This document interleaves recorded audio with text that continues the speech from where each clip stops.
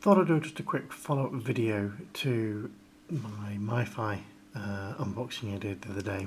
Um, I've had a, a, quick play with it now and uh, I'm quite impressed. It's it's not bad. It's not you know amazing speeds, but for you know for what I think most people want to do, they'll probably find it very useful. Um, so I thought I'd have a quick look at the the configuration uh, page uh, and also do run a, a couple of quick speed tests. Now, once you've installed the, uh, set up your MiFi, you can either plug it via USB cable into your laptop or you can connect to it obviously via Wi-Fi.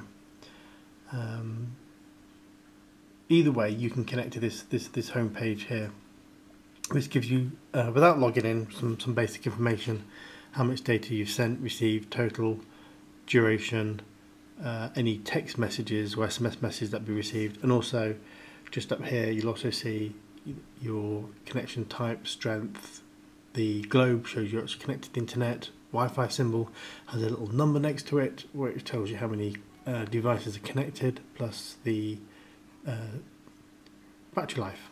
Um, now you can log in and that allows you to change a number of settings. Uh, let's have a quick log in, let's have a quick look.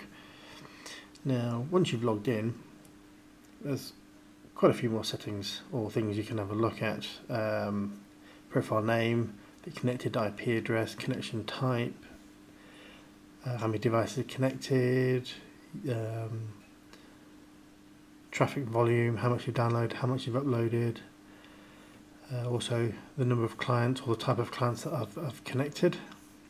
Um, you can also have a look at any SMS uh, messages you may have sent or received and the third tab really is all your settings. Where you can change uh, network network settings. You so you can do uh, 3G only or you know change that to uh,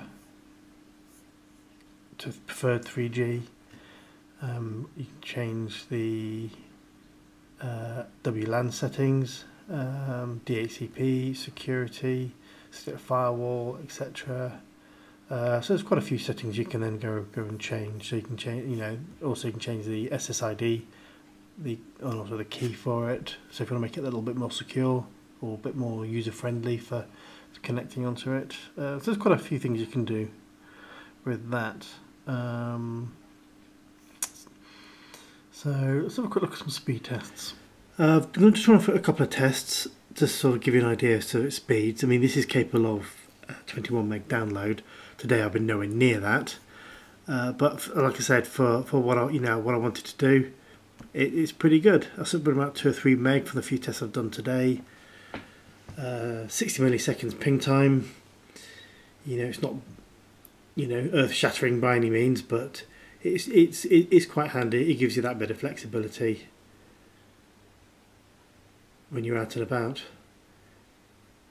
if you've got a you know iPad uh, or another tablet, you know, and you haven't got uh, you know 3G built in, this is quite handy. Laptop, again, quite handy for. So that's giving me one 1.17 down and 171 up. So we'll just run that again.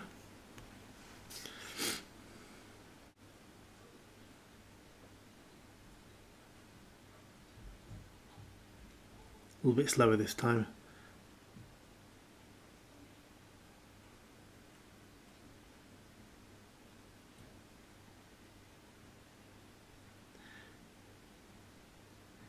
Which has been sort of been a bit typical of today, you know, sometimes it's quite quick, sometimes it's, you know, seems to be waiting.